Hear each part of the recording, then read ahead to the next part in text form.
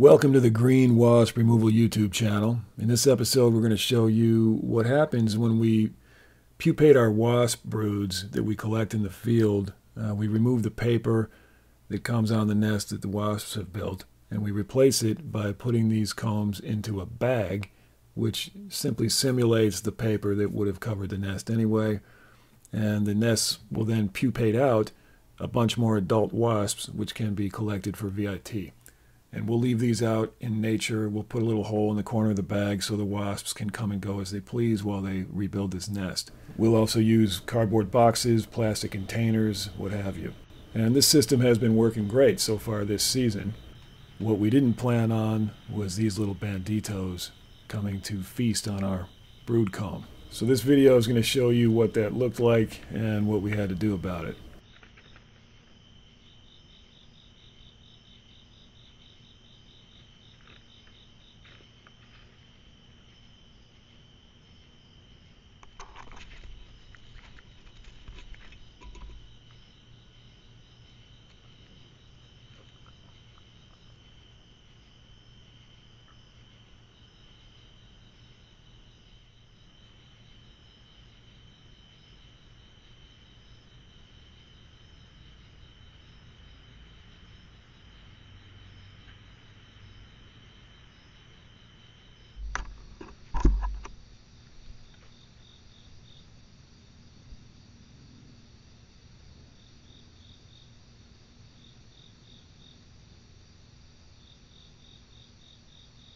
September 6, 2023, we had a bunch of brood combs set up over here for incubation in various boxes.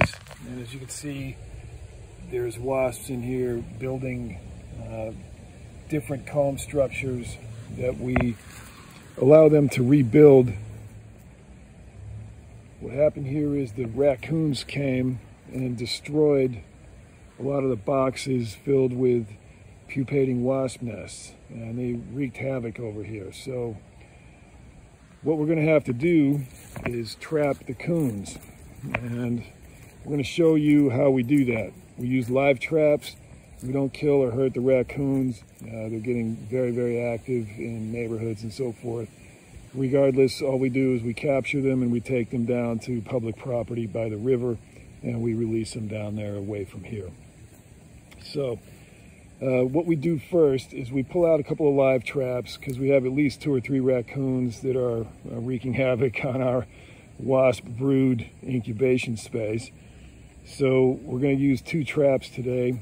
And the best bait we've found for raccoons is marshmallows. They love them. They will eat marshmallows anytime you give them the chance.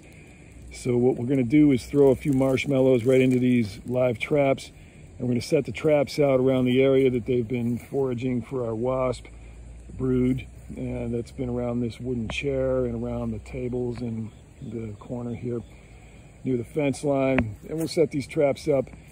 And tonight we should capture some cones. And we'll show you that on a wildlife camera that we'll set up that has infrared because they usually come in the middle of the night or at least after dark. So you open up your traps and you take a handful of marshmallows, throw them all the way in the back. Make sure they're past the trip plate, the step plate that triggers the door, which will capture your live coon. Just make sure they're in the back so they have to walk across that step plate and trigger the trap in order to get to the marshmallows.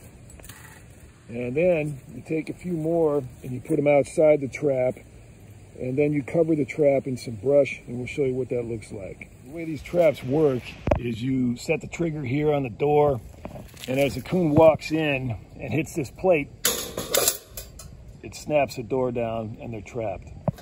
You get your trap set up and you have your bait in the back of each trap. Then the next thing you do is you simply drop a couple of the marshmallows around the front of the trap area.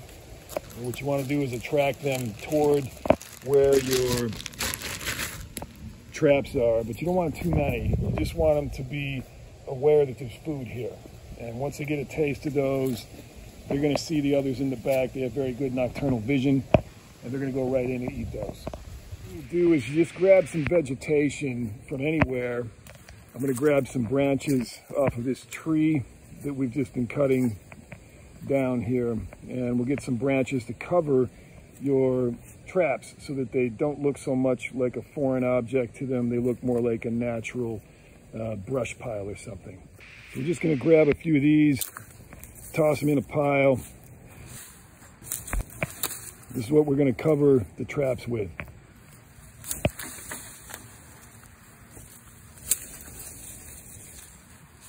When you're all set, here's what you got. Just some brush covering the traps a little bit. Doesn't have to be crazy. Just enough to make it look a little bit more like a nature environment as opposed to just plain metal. And now we're gonna hope that the coons eat this bait one marshmallow at a time and then walk in. And hopefully that's how it'll work. They'll sniff around. They'll be looking for brood comb for wasps, but they'll find the marshmallows. They'll see more in back and they'll step right in and we'll capture them.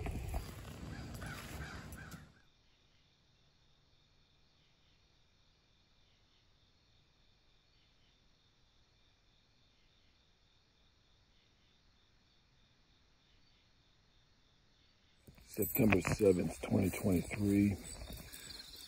We're going to check on our coon traps. It's about 6 in the morning before sunrise. Let's see if we captured anybody today.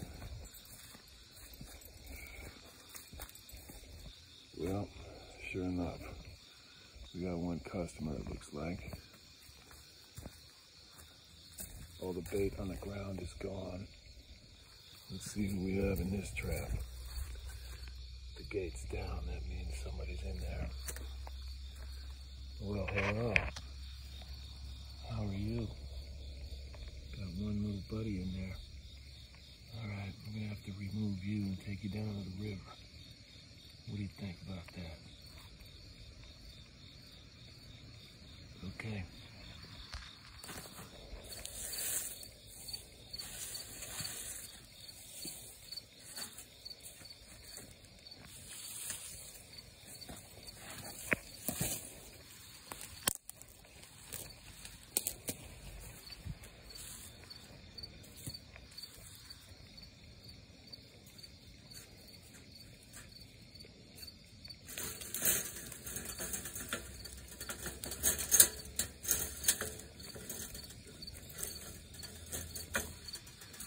Thing we need to do is put a stick across the door so it doesn't pop open. Now we can take it over to the truck.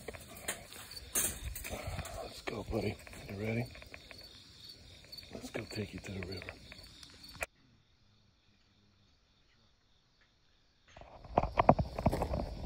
So there's our buddy. It's a young coon, very small little guy. Don't worry, sweetheart, we're gonna take care of you but it's pretty teeny. Looks a little afraid. All right, dude, you ready to take a ride to the river? Let's go. So there's a boat launch down here on a dark little country road. And that's where we're gonna drop off our little coon friend here. It's just a young coon no reason to harm the animal. As long as you take it down to a public area, it's public land and you're not releasing it on someone's property, then to relocate an animal like this. So that's what we're gonna do. Looks like we got a trucker camping out down here today.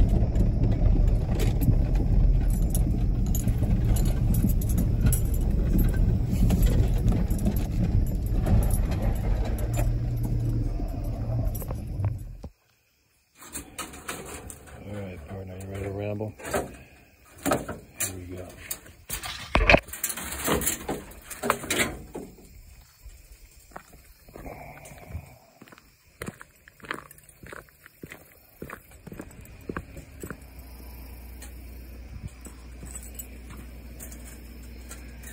this is the river over here. You can't see it in the dark, but uh, this whole area is the river. Up here's the trucker taking off who'd been sleeping here. We're to remove the safety stick and always have a wire connected to your release because you don't want to use your hand down here because as the animal comes out it might panic and attack you, bite you. You don't want that. So what you want to do is release it with a wire. Stand behind the cage.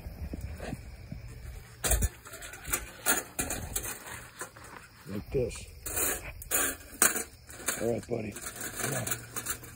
Let's go. Out you go. Come on, man. Turn around. There you go. There you go. Okay. Take off. There you go. Okay. So now it ran down the riverbed. Done and done. It's September 8th, 2023. Here we're gonna see if we caught anybody else in our coon traps. Looks like we did. Got one here on the left side this time. Let's see who's here today. Hey, buddy. You taking a little nappy in there? Well, let's get you down to the river, huh? You've probably been in here for quite a while. Still got any action in you? Yeah, you're awake. You're awake. You're just waiting to get out of there, aren't you? All right. Let's take you down to the river. Pretty cute for a bandito. All right, we'll get you out of there. You hang tight. Let's go, dude. Time to head for the river.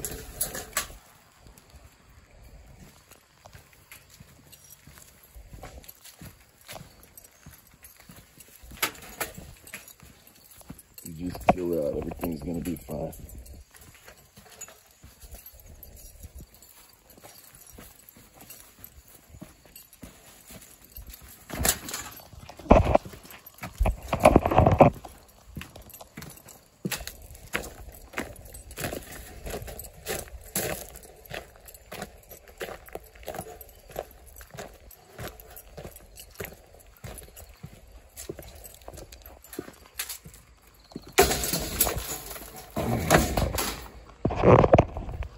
Okay.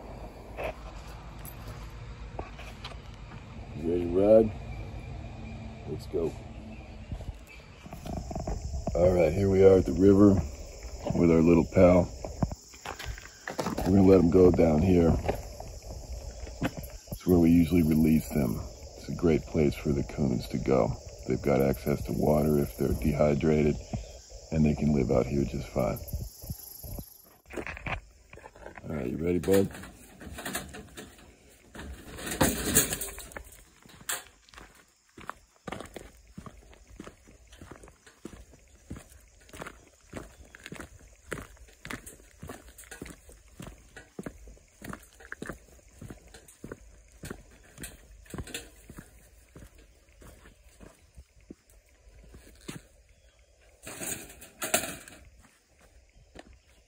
Okay, let's get you out of here.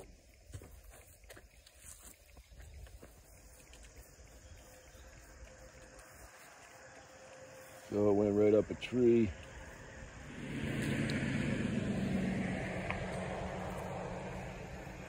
All right. So that little friend is good to go now. So we reset the traps again, uh, just in case anybody else comes back. But we got the two that we think were the primary banditos eating up our wasp larva. So we've got two nests left, both Vespula maculifrons.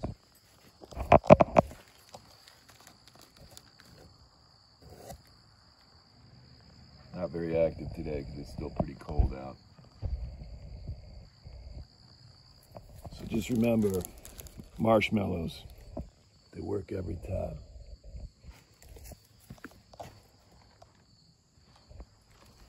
So one note about safety around wild raccoons. You should check the area you've had coons and look for scat. This is raccoon scat.